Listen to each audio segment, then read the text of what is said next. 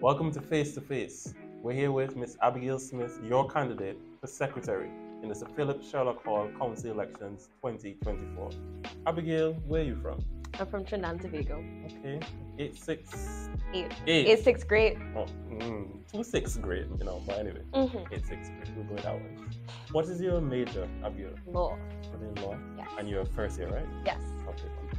What do you enjoy doing most in your free time? I love to read. I love to write. I love anything that has to do with words. And I also like taking pictures with my little digicam. So, you know, if we're out, you might see me.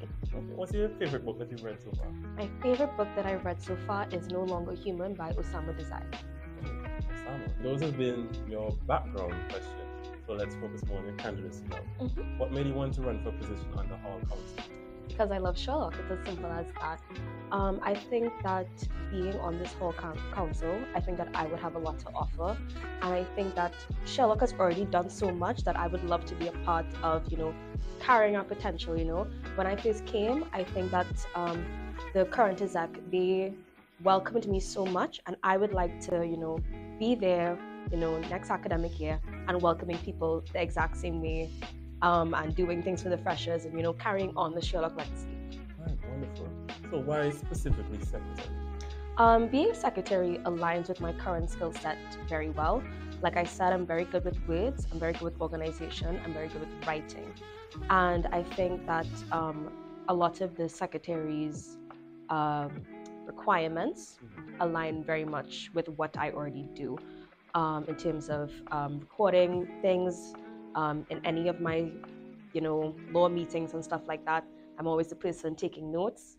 And I just think that I have a lot of ideas as well that I think I could bring to the position and do really well in. Okay, very interesting. You had mentioned before that you really love Sherlock. So what has been your favorite memory so far in your time here in Sherlock? My favorite memory from my time here on Sherlock has to be, I think, um, beach day during Freshers Week.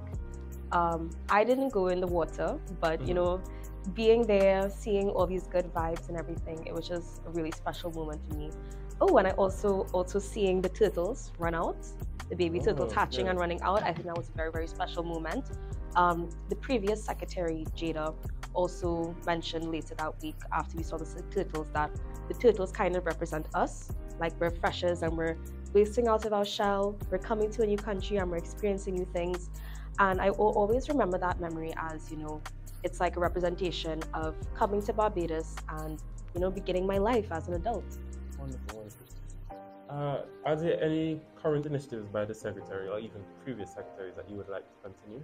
Yes, there are. So, um, um, the previous secretary, Jada, I think she had a lot of good ideas and I think she did a fantastic job. Um, I'd love to continue her writing workshops and um, her publishing of the calendars of events.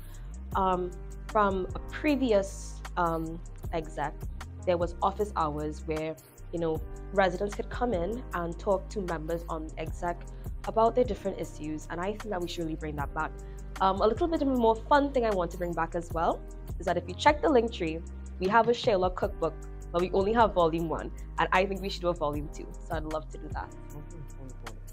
Are there any new initiatives that you want to implement or you want to leave those for me? I will. I will share. I will share some.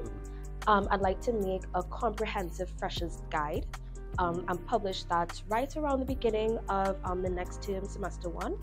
Um, it would just have, you know, tips for living on your own, handling expenses, you know, how to handle your life living by yourself.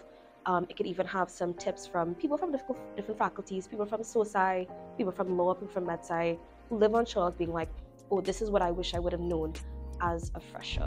And I, I oh, and also the shuttle schedule, because that's something I wish I knew when I first came. Um, so yeah, I- that's one thing that I definitely want to do. All right. Okay. Um, all of you personally contributed to the hall slogan. No, you know me, but all of you. I think I've personally felt it mostly because no you, no we, but all of we. I think that while I'm here, I've really leaned on my Sherlock family. I've really leaned on my friends that I've made here for emotional support. Obviously, when you leave your country and you come to a new place with no connections, you know, you have to rely on the people that you're with. They become like your found family. And I've really leaned on um, specifically lots of like the law students, but not just the first year law students, like a lot of people on Hall just asking for advice. Um, shout out to Chidika, who's the current welfare officer, who has been really good to talk to about her about like my problems. And I really think that like, you know, when I could have felt alone, I was able to, you know, go next door, go to go talk to somebody and not feel alone, like feel like I'm in a family. And I'm assuming that you did the same for others as well. I did do the same for others. I'm not gonna bust anybody's scenes, but yes, I have done the same for others, and I've tried to have people lean on me when they need a friend to lean on. Okay, all right. So last question for this interview. Mm-hmm. Uh, there's a new fresher looking shoes, you know how to live on. Uh, sell shout out to them. Okay, so you should come to Sherlock. First of all, we have AC. Um, no, but besides that, um, besides that, um, Sherlock is where you go if you want a family. Other halls might other halls don't have that same family values that Sherlock has. It doesn't have the history that Sherlock has, and it doesn't matter what people say. I think that if you want the best, most comprehensive hall experience, you should come to Sherlock.